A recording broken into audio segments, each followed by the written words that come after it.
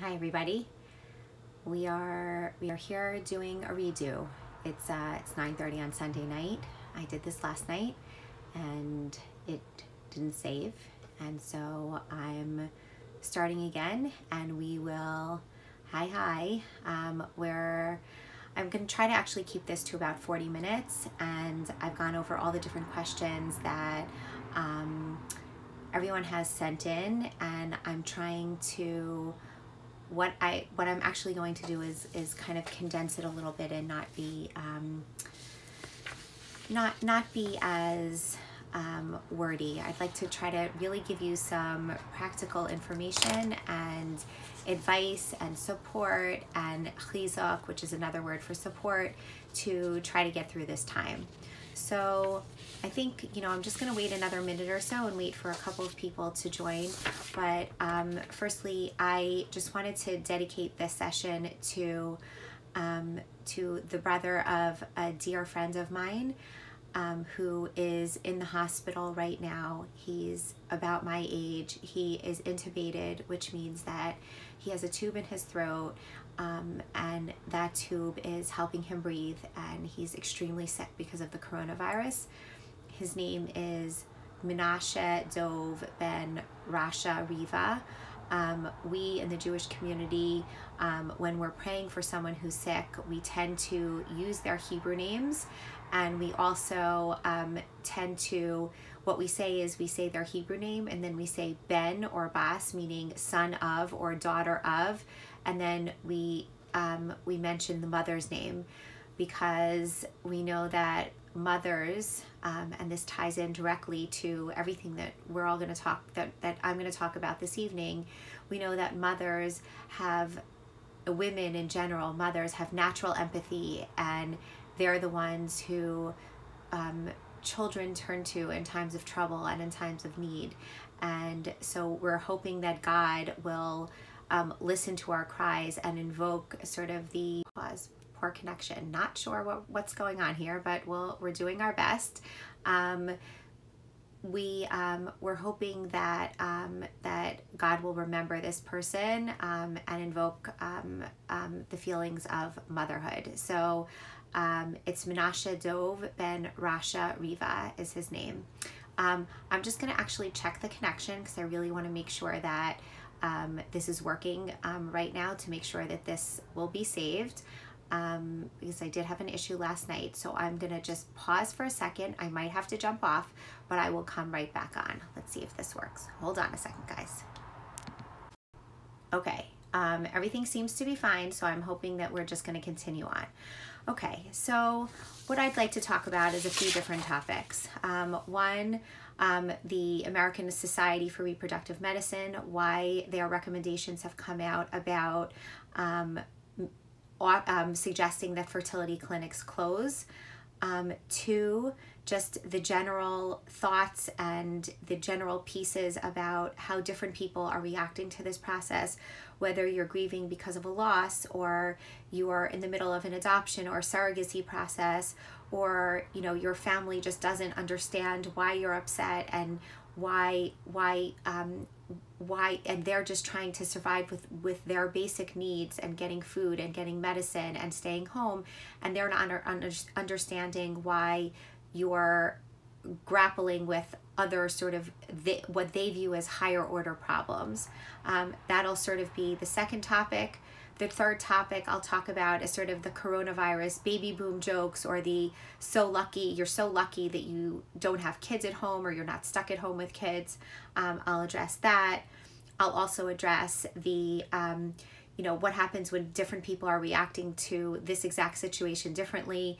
Um, for example, if you know you and your husband or i again maybe there are men who are listening now you and your wife or, your partners are um, really reacting to this situation differently whether it's um, uh, whatever the reason is and how to be sensitive to the fact that other people are grieving or processing emotions differently.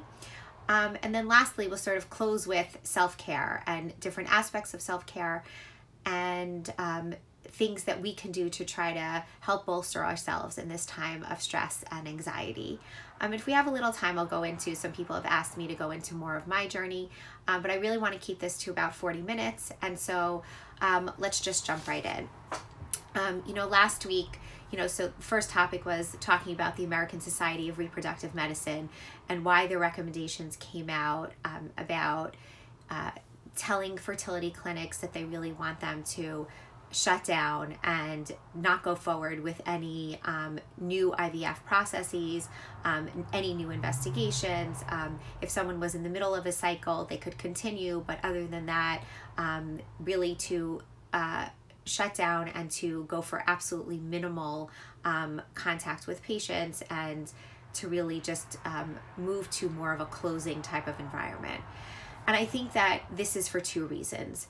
The, the first and foremost primary reason that I've heard over and over and over again is is that we just don't know enough about the coronavirus. We um, this is a virus that has been around really only for a few months, and there are still lots of things we don't know. Things like um, how quickly it spreads, things like um, how long it lives on certain surfaces. There are lots of different things like maybe it lives this many hours on cardboard and this many hours on aluminum or this many hours on this. But I, I've seen about five different reports of five different, you know, five different um, time time um, uh, lapses on cardboard. Some some have said that it lasts for a day. Some have said it lasts for hours. Others have said, you know, for many days. So it's and this is just one example about how just information is not very good right now. Here's what we do know. What we do know is that this illness is extremely contagious. We know that it's spread by these respiratory droplets, these droplets that come out when somebody sneezes, when somebody coughs, um, etc. And we know that definitely the older population is one that's very much at risk and there are lots of doctors that are in that older population um, that fall under this category.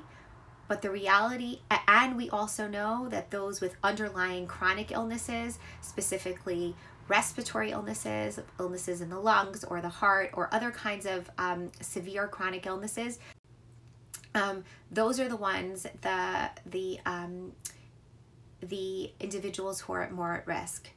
However, what we also know, and the thing that's making um, everything so scary right now, is that there are lots of news reports out there um, talking about how there are lots of young people who are under the age of 60 with no underlying medical problems who are also getting very, very sick.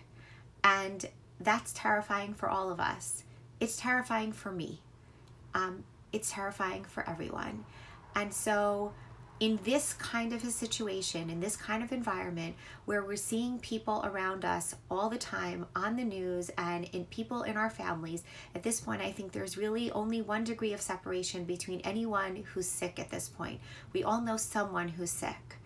Um, and so, what the, the reality is, as painful as it is for all of you who are suffering and who are desperate to start a family or to build your family or to continue to build your family. The reality is is that these are not vital medical procedures right now. We're in a situation where this is a pandemic and it's about life or death. Yes, I know for all of you who want a child that for you having a child feels like life and death. You want a child desperately. I know that and I get it. But I think we, in, in the same way that doctors and the medical community are telling people, please stay home. Stay home because you, even though you may not have symptoms, you may be passing it on to others who will get sick. And those people will end up, some of them will end up getting very sick. And so we all, as a community, as a human race, have a responsibility to stay home as much as possible.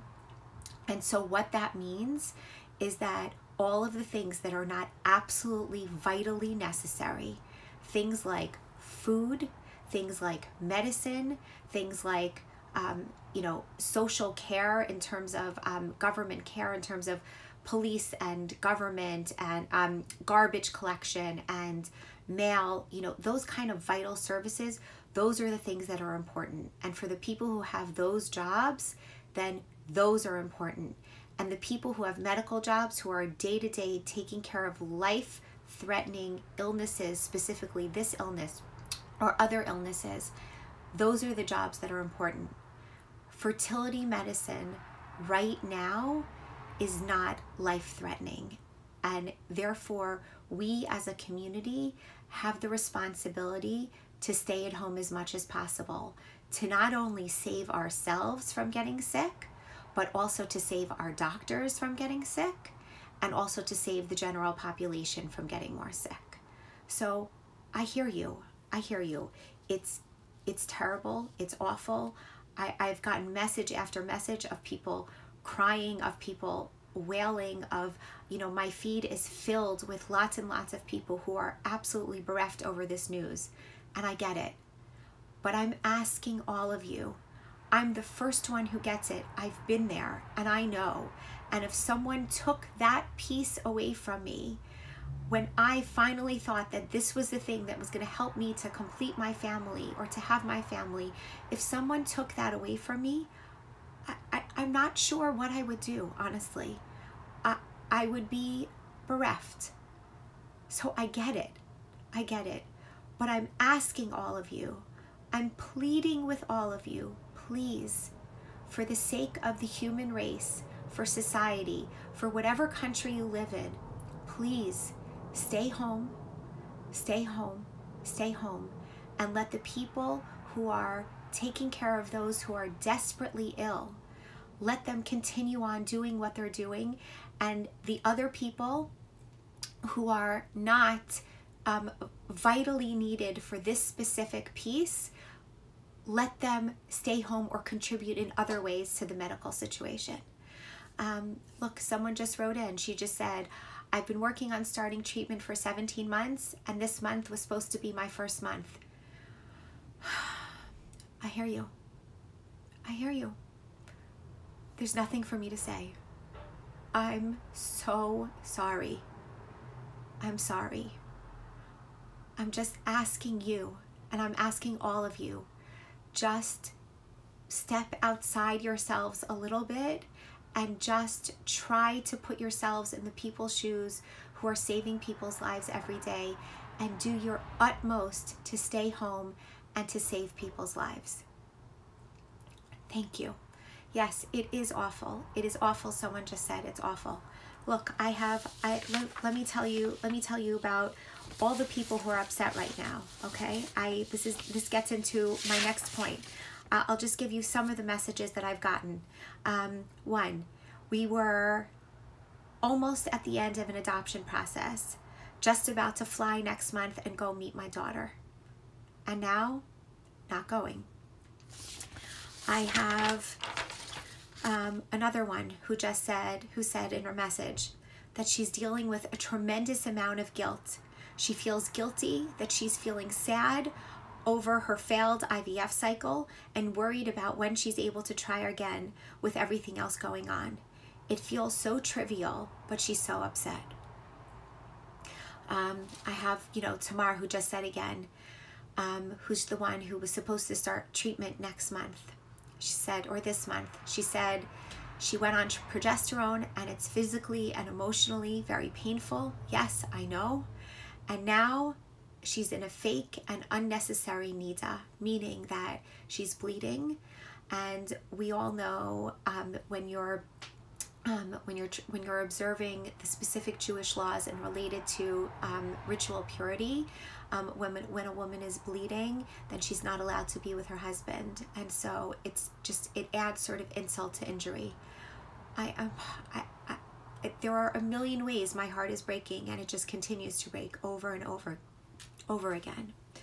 Um, I have, you know, I have this this another message from someone who says, my parent my family just doesn't get why I'm upset. They're too worried about my grandfather. Yeah, yeah. it's it's just there's there's no room in people in their in their minds right now to deal with the emotions of fertility and or or a failed process or with someone who just lost a baby or can't complete with can't complete her process because people are dealing with life and death death issues as i said for the elderly population this virus is awful for them, awful for them. Um, and so I, I'm not saying to you that you should discount your feelings, the person who wrote this. You definitely should not. Your feelings are valid. Anyone who is grieving over their own situation, your feelings are valid. You are allowed to have those feelings even though other people in your family are worried about more significant things like grandparents or getting food or getting other things. You're right.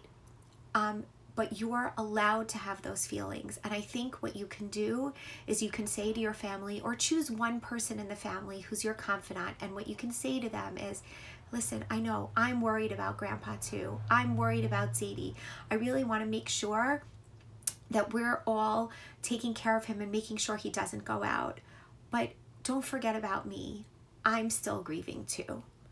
I'm still grieving too. And remember that thing that just happened to me and and I'm just begging you in the midst of all this if you can just check in on me, you know, every few days and just tell me you're thinking about me. Um, I think that that's really important to state your feelings and to tell people how you feel so that you don't feel that they're constantly shutting you out. Um, you know, a couple people wrote in here. They said there. One woman wrote Margot um, that she's feeling pulled in both directions as she's dealing with re repeated pregnancy loss, but also that her doctor, her husband, is an ER doctor. She has so much fear. yeah, yeah. Recurrent pregnancy loss, repeated pregnancy loss is petrifying, petrifying, petrifying. That's life or death too and yet your husband being on the front lines of being an ER doctor and seeing all of these sick patients all the time and the fear that he must carry with him and having to try to help these people all the time and then coming home to you it's it's all hard. It's all hard.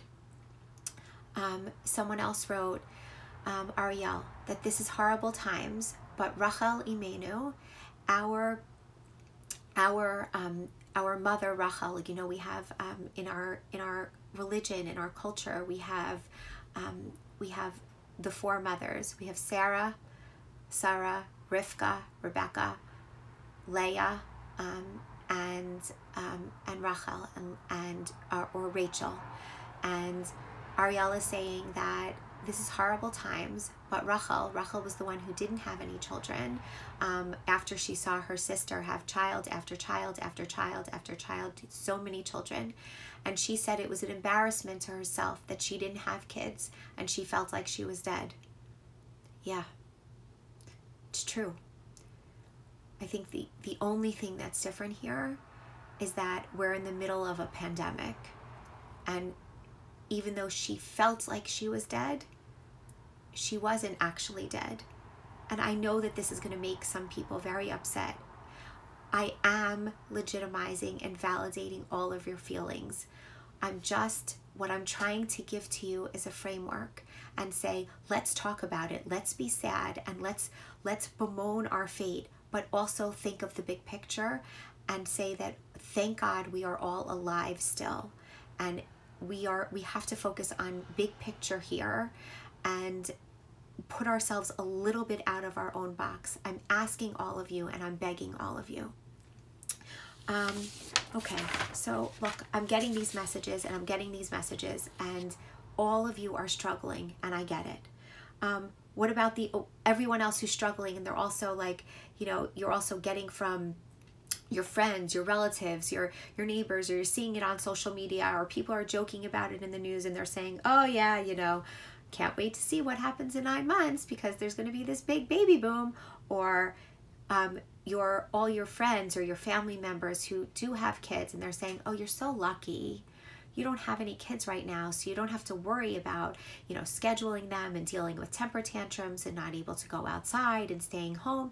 You only have yourself to worry about. So it must be so much easier for you. And that's just like a dagger in your heart over and over and over again. This is what it is. Look, this is the same. I, I equate this. This is actually what I said last night. I equate this to all the difficult comments and all the, the nasty and mean comments that people make that I don't believe are people are not trying to hurt you. They're not trying to hurt anyone. They're just they're talking about their own experiences and they don't realize that those words are going to land in a very different way to your ears as opposed to someone else and they're complaining to you about their own situation or they're making this big joke ha ha ha you know we're all stuck inside and there's going to be there's going to be so many babies and they don't realize that every time you see that you're in pain and so i say to you in the same way when other people at other times in your life have said things that are difficult or make you upset or make you sad you have two choices choice number one is say nothing you're not interested, it's too much for you to have a response back from them to them. You are not in a place right at that moment where you feel you can respond because it's too painful, it's too hard, whatever the reason is. Or, you know, it's coming from a person who you don't really have a close relationship with, and so you can kind of disregard what they're saying. That's choice number one. Choice number two, say something. And it can be anywhere from sort of like, you know, just joking, or it can be something that's really like much more um, poignant and really gets to the point. So when people start, you know, saying things like, um, oh yeah, in nine months there's going to be lots of babies, you can say something like, actually, um, ha ha ha, not for me, I'm infertile, not happening, ha ha ha. You could do that um, if you want the other option, or some other joke like that. Um, or the other option is is to pointedly say to the person and not be sarcastic and not have that joke and say, look, you know what? When you tell me that you're stuck at home with your kids and it's really driving you mad and I'm so lucky that I don't have any kids, honestly, my biggest wish would be to have children that I could take care of right now. And now I can't even go forward with my process for my with my fertility process. We can't even try to get pregnant right now because our doctors' clinics have been shut down. And so when you say these things, it's extremely painful and extremely upsetting. So I'm begging you, don't say it anymore. Just be oh, you have again two choices. Say something or don't say something. But you have the choice as to whether you want to do that. Um, okay, next thing. Um, someone wrote in about how her husband um, is ignoring her.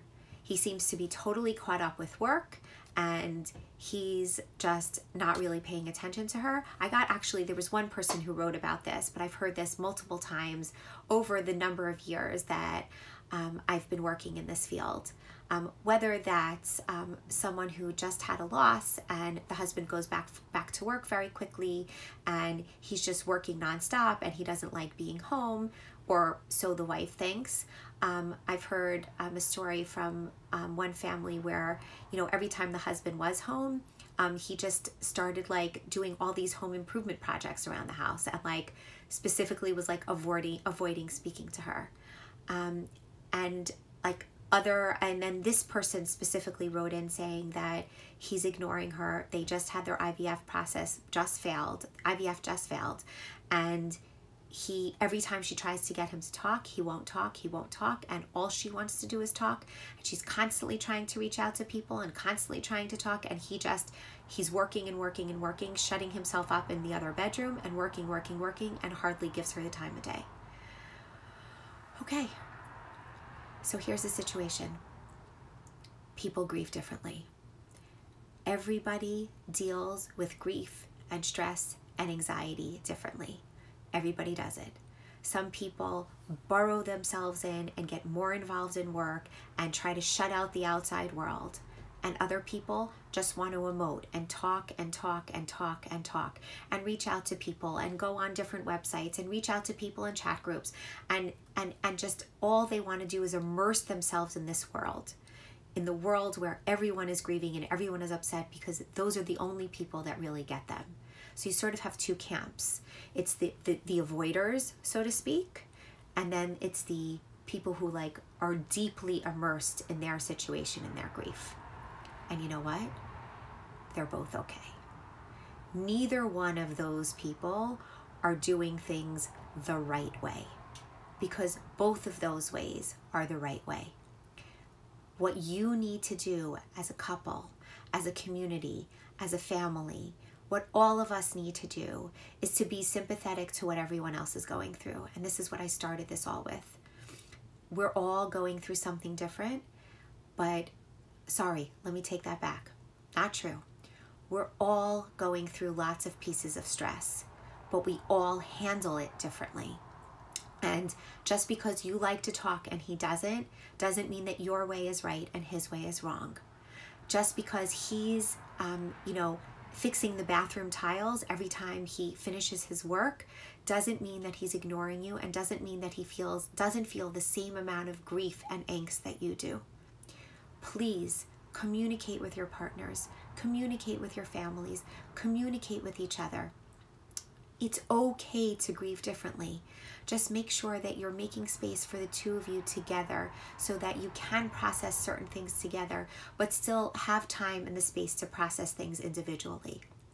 Those things are extremely important. Um, okay, let's lastly um, talk a little bit about self care.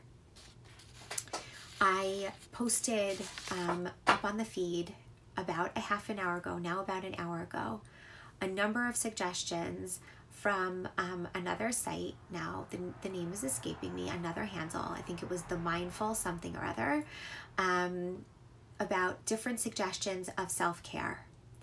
Self care is the thing that is getting going to get get. Let me try this again.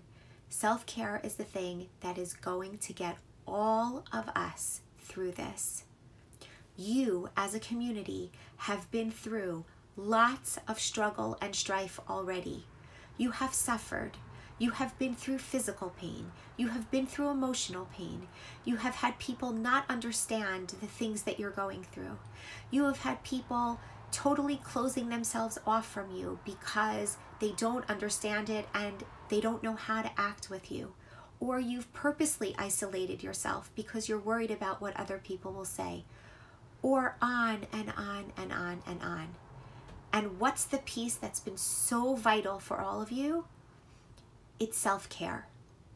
You know what works for you. We each have our things that make us feel better. And I know the messages I'm getting are, you know, here, let me let me read um where is it? Here, this one. Um I can't stop crying. What do you suggest? um, what should I do when my anxiety gets the best of me? Three, how do I how do I deal with loneliness? How do I deal with any of this? Because all of my distractions are about going out and doing and seeing people and working out at the gym and going to theaters and going to, to, to shows and going just doing different events. How do I deal? How do I deal? How do I deal? Okay. You deal with self-care. There are so many things that you can do from your home nowadays, right? What can you do? You can dance in your home. You can have yoga in your home. You can cook. You can clean and organize. You can make sure you're getting enough sunlight both in your home or open your windows if you're in an apartment or go out on your balcony. Those of you who are in houses or those of you who have more access to the outside, Make sure you get outside and have that sunlight on your face. That vitamin D is going to be vital for all of you. You can journal and talk about your feelings and write them down. Sometimes just writing them down actually just releases that tension and allows you to get it out on paper and you feel so much better afterwards. um, you can um, make sure that you are um, doing all of the th- things to keep yourself distracted in your home, even though you're not able to get outside. So that's Netflix or other movies that you're watching. Those are books. There are so many books I know on my shelf that I haven't read in years. And this past Shabbos, this past Friday night and Saturday, I started going through a number of them and I was I, I just I it, they were like old friends that I hadn't seen in a while and it was so comforting to be able to read some of them. Um, there are there are people you know this this all our world has turned virtual we are in the virtual space where we are um, we are connecting with people instead of giving people actual hugs instead of giving them um, big um, big kisses and and instead of having face-to-face conversations instead of going out to dinner and taking walks together what we're doing is we're doing this so get on zoom get on facetime make phone calls call the people that you love and that love you check in with them text them, write them letters, do everything you can to keep connecting with people. Connection, connection, connection. Those pieces are going to be most vital for you.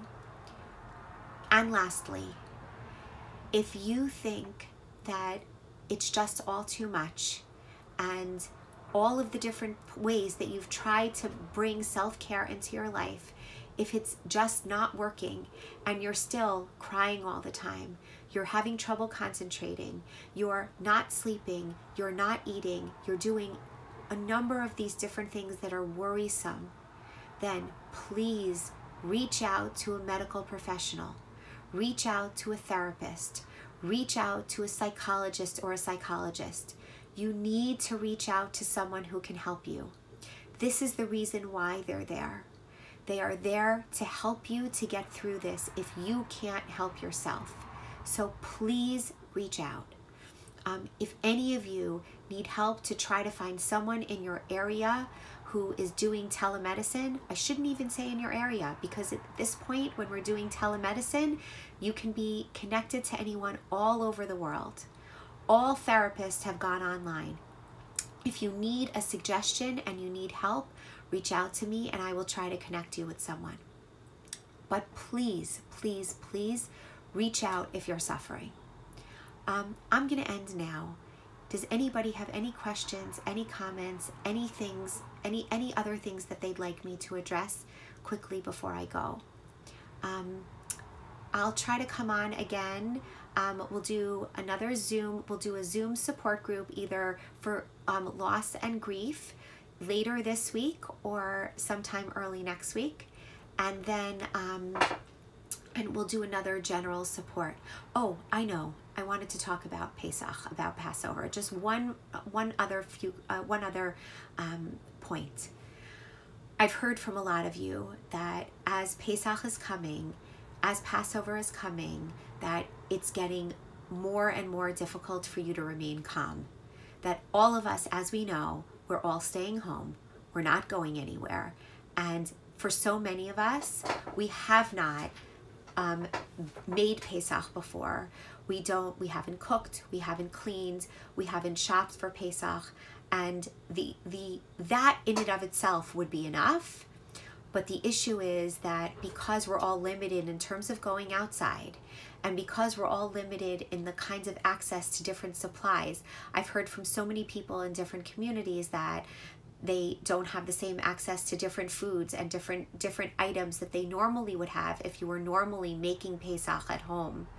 And so that in and of itself is also producing a tremendous amount of stress. Okay, guys, we're going to do this together and we're going to do this one day at a time.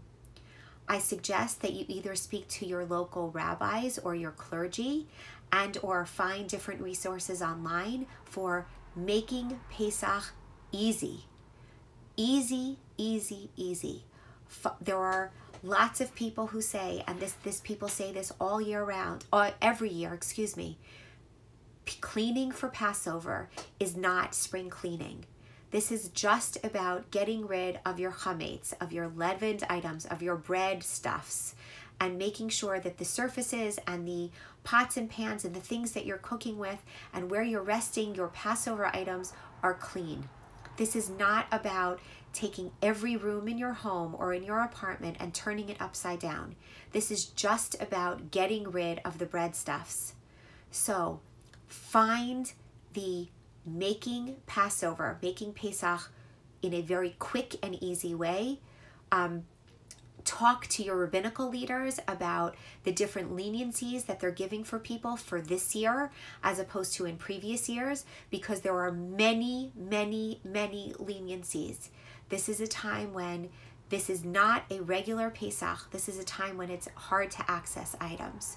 Um, and thirdly, in regard to the food, we're all with our individual immediate families. We don't need two proteins at each meal. We don't need elaborate desserts. We don't need elaborate vegetables and side dishes.